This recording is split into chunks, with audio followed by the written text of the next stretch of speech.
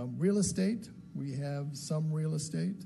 Um, not a lot, but we do have some real estate. Like real real estate or We have some real real estate real estate? and some that we had that we bought back in the 90s that has really been an anchor on our portfolio that we're in the midst of, have been in the midst of getting rid of for the last several years. Um, so we have golf courses. We got a golf course in Texas I someplace. got one I can sell you. not buying those anymore.